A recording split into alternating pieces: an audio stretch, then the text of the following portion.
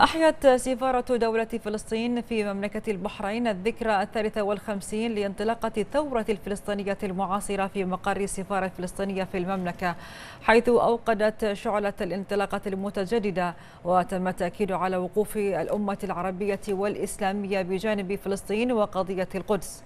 وفي إضاءة شعلة الانطلاقة الثالثة والخمسين تم التأكيد على أن الثورة الفلسطينية تقدم نموذجا حيا لجميع أنواع النضال المشروع والإصرار على استعادة الحقوق مهما تواجه تواجههم من صعوبات كتلك التي شهدها العالم مؤخرا بقرار الإدارة الأمريكية. الاعتراف بالقدس عاصمة لإسرائيل ونقل سفارتها إلى مدينة القدس. كما تمت الإشارة إلى أن النضال الفلسطيني قدم الكثير من التضحيات والشهداء الأبرار. وبذلت العديد من المساعي السياسية لتحقيق السلام العادل والشامل في المنطقة إلا أنه ما زال مستمرا لتحقيق الهدف المنشود في نيل حقوقه المشروعة. وتحقيق السلام بالمنطقة. يحتفل شعبنا الفلسطيني كل عام بذكرى انطلاقة الثورة الفلسطينية المعاصرة التي انطلقت عام 1965 بقيادة الشهيد الرمز ياسر عرفات.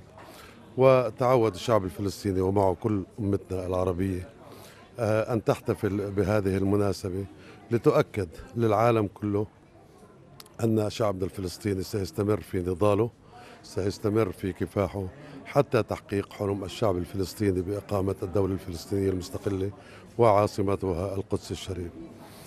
في هذا اليوم ونحن نحتفل في هذه المناسبة من مملكة البحرين الشقيقة من أرض المنام الطيبة نتوجه للشعب البحريني الشقيق ولصاحب الجلالة الملك حمد بن عيسى آل خليفة والقيادة الرشيدة في مملكة البحرين بالشكر والتقدير على دعمهم الدائم لفلسطين وللقضية الفلسطينية والتي يوجه دائما صاحب الجلالة أن تبقى القضية الفلسطينية هي القضية المركزية للأمتين العربية والإسلامية.